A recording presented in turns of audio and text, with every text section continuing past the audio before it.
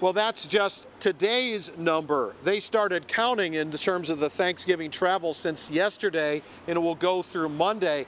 By that time, all in, 900,000 approaching a million, getting up there in terms of that passenger traffic. But it's actually busier here on the drives. They have more cruise passengers in the summer on a day like this.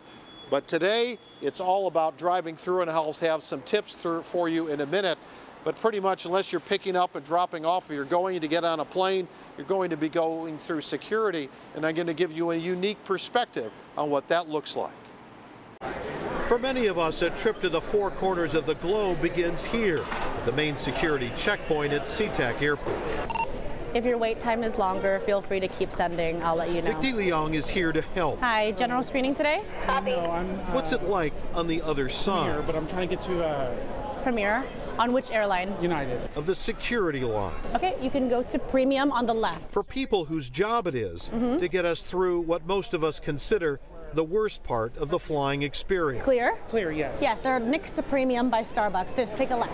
Where passengers always swear it just seems to get longer. We pick somebody from the end and we time them, see how long it takes to get through. Gotcha. When the wait times hit 15 minutes, um, that's when we start making calls to our duty managers and to TSA, and that's um, we're trying to avoid at all costs having the lines go over 30 minutes. But before that even happens, when they get slammed, they will stop the line and bring in the dogs. So usually at 15 they'll make calls to TSA and see if we can bring the K9 in or if they have staff for that. She's what they call a pathfinder, the follow me type of person who gets you to where you need to go. Even if this is full, it's usually not even a 15 minute wait. Maybe. When she's not functioning as a human clock. So consider these numbers.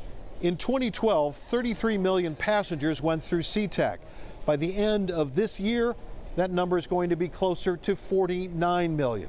And in 2018 alone, that's up another 6%. For the growing airport, the dogs are a godsend.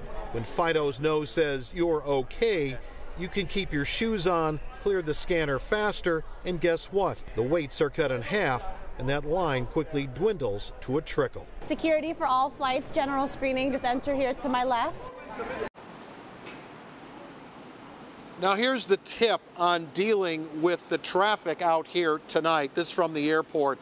Things are going to get real busy because a lot of flights, longer distance flights, like coast to coast flights, will start showing up here around 8, 9, 10 o'clock tonight. We've been out here before. It is a complete zoo. So here's the suggestion. Yeah, driving up to the point where the drive split in terms of arrivals down here, departures up there, the airport says go to departures. That's really light duty. Down here, most people want to be here on arrivals, so they think that's what you're supposed to do. They're picking up arriving passengers. So think opposite, and then flip that around if you're going to be dropping somebody off on Sunday morning. Drop them off down here. Remember, everything connects up on the inside of the airport, and allow yourself plenty of time. Live at SeaTac, Glenn Farley, King 5 News.